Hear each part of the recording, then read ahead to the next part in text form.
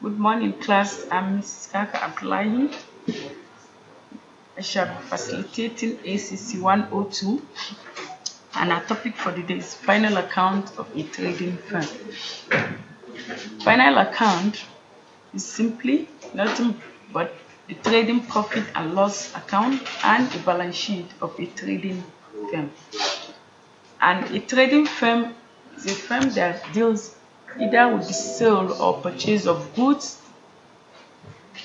which could either be in credit or in cash.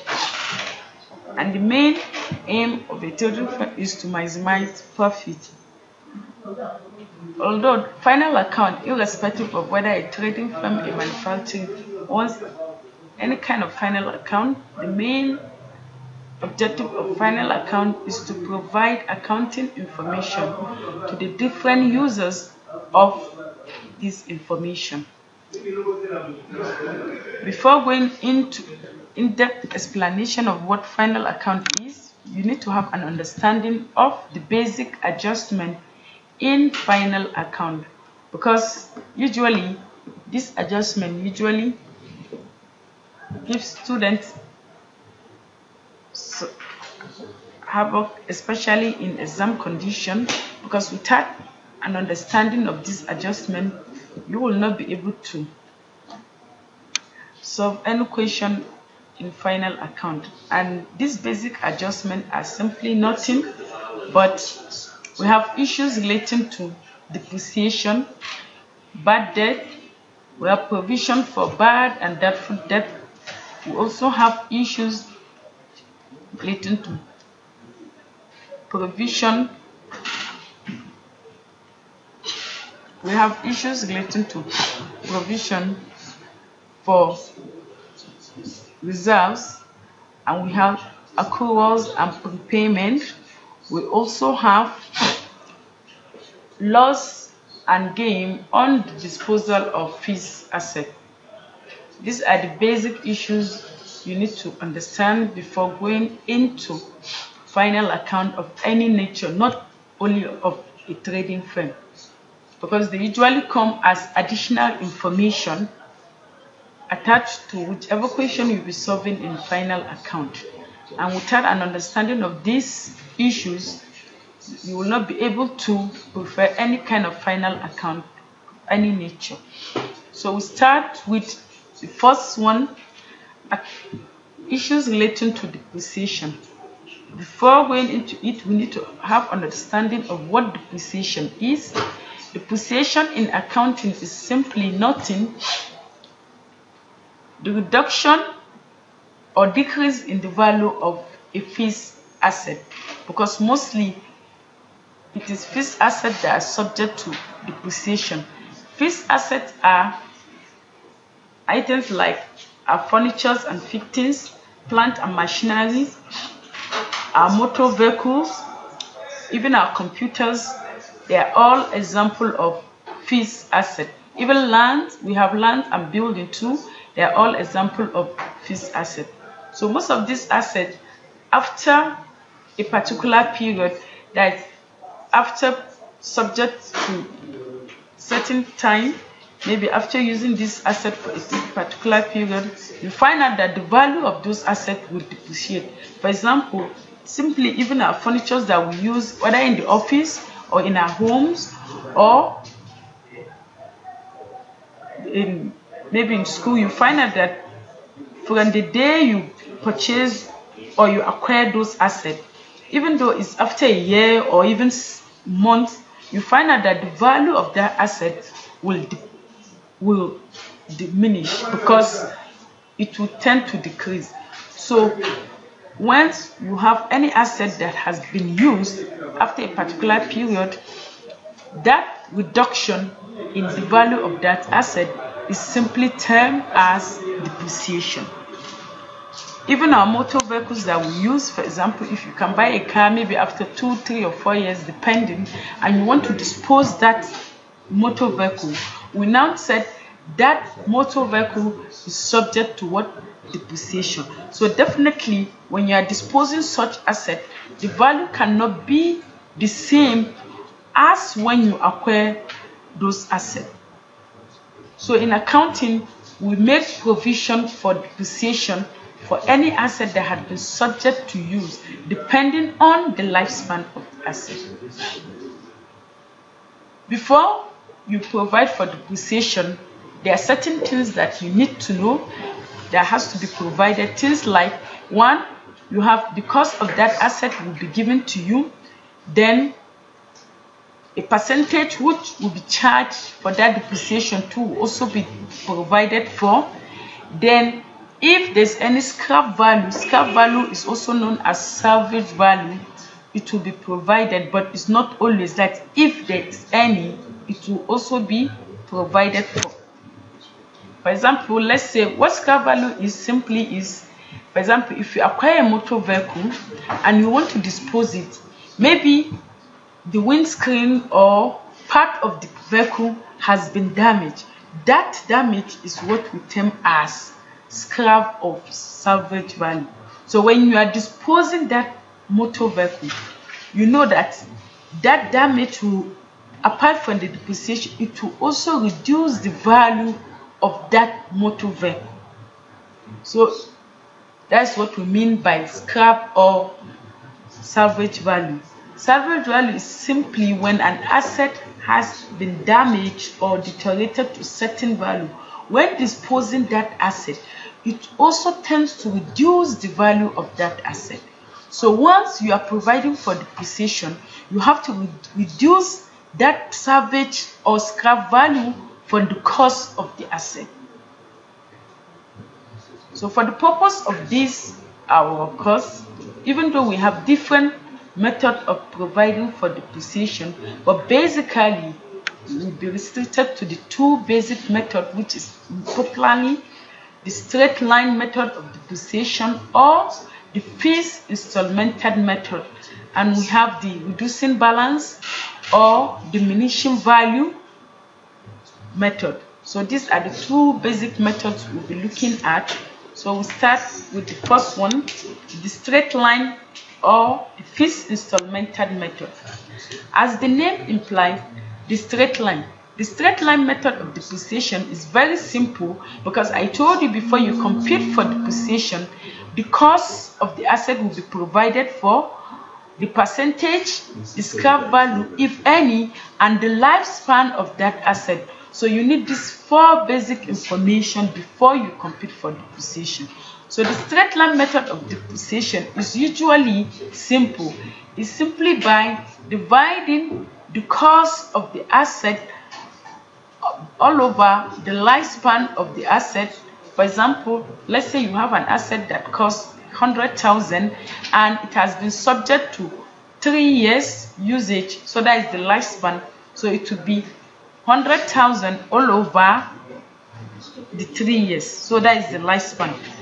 But where the asset is subject to a scrap or salvage value, the formula for computing for depreciation will now be the cost of that fixed asset minus the scrap or salvage value all over the lifespan. And you could also charge depreciation direct on the cost whereby you are given only a percentage if a lifespan is not provided for example, you have an asset, they will say maybe costing 50,000 and the percentage to be provided for is like, let's say 5%. So what you do is just to charge that 5% of 50,000. So this simply the straight line method of depreciation is very simple. There's no difficulties in computing for depreciation using the straight line method. But whereby an asset has its salvage value, example, where you have a machinery or motor vehicle, let's say costing a hundred thousand, and there's a salvage or scrap value of ten thousand. So what you do before computing for that depreciation, you have to subtract that salvage value from the cost of that asset. So it would be simply say like 10,000 minus from the cost that is 100,000. What you have left, you have 90,000. Then you divide it by the lifespan if the lifespan depending because in the question if we are using lifespan the lifespan will be provided for it could be two three four five or even 10 years so you not simply divide it by the lifespan to get the depreciation for that particular listing. Then we now move to the next. I think these are basically two methods. The next method that you need to know is the reducing balance or diminishing value because as the method said simply reducing balance or diminishing value the reducing balance or diminishing value here annually the value for depreciation the cost will keep reducing that is for example given the example we've used before let's say we have a plant or machinery costing a hundred thousand. It is only in the first year that you charge depreciation on the cost. Subsequent years you don't charge the depreciation direct on the cost of that fixed asset. What we'll do is that the value of that asset will keep reducing based on the first year charge for example, if we have, I said, a plant and machinery costing 100,000 and the percentage charge for that depreciation, let's say is maybe 10 or 20%. So in the first year, it will be 10% of the 100,000, which when you compete, you get 20,000. So in the second year, what you do is you subtract the first year depreciation from the total cost of the fixed asset. So for example, if we have 20,000 as a percentage charge in the first year, in the second year, you now see that the value of depreciation, the cost will now reduce from 100,000 to 80,000 because you subtract 100, the 20,000 from 80,000. So what you, you have left for the cost, it will now be 80,000. So you now charge the percentage, but the percentage is fees. You don't change the percentage. It is only the cost of the fixed asset that will keep reducing annually till you exhaust the whole period given to you. So that's how we compete the reducing balance or diminishing value. But at times you find it as written down value because the value will keep reducing till we exhaust the whole lifespan of that asset. So that's how you compete for that using the percentage. So after computing for the asset, the next thing is because once you have depreciation, depreciation is usually termed as an expense in the profit and loss account.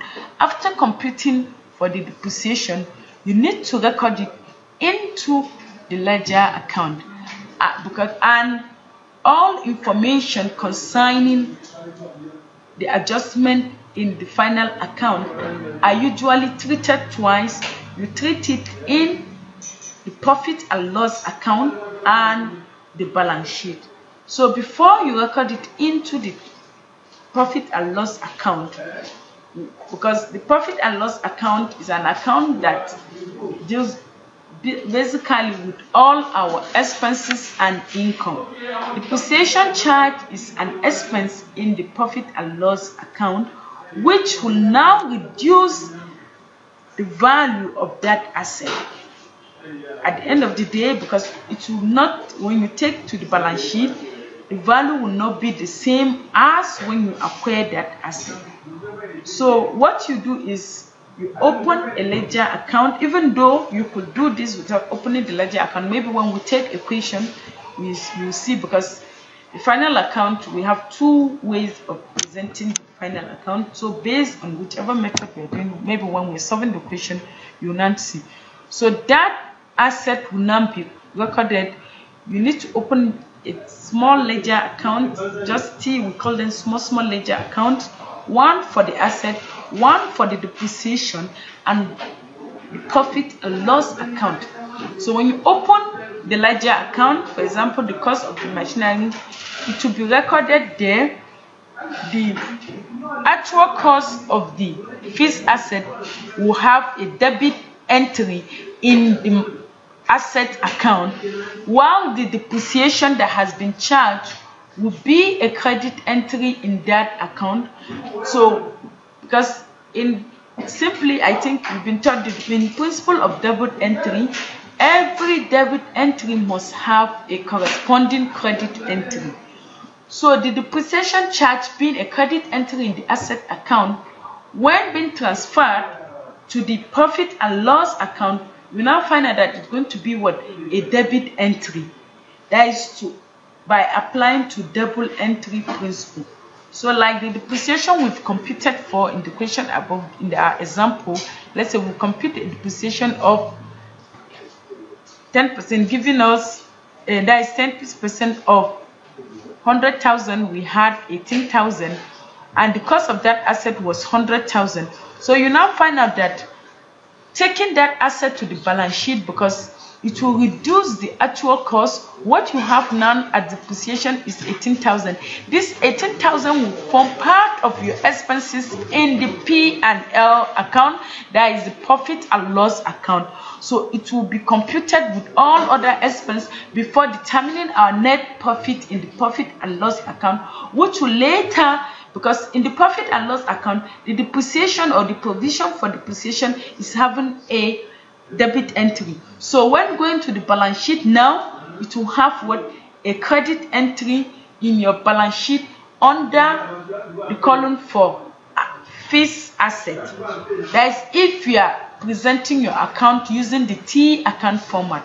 But if you are not presenting your account using the T account format, you are using the vertical format, is a different format that you don't need to open the ledger account. But when we solve equation, you see that because we'll be taking the two format because you are allowed to use either the T format or the vertical format. That is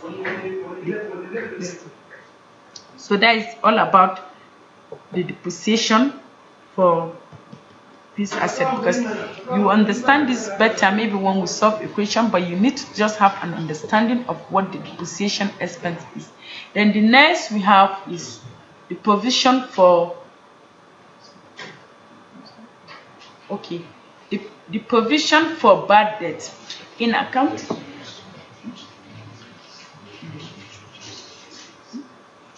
The next issue in our basic adjustment for final account is the issues relating to bad debt which shall be treated in our next class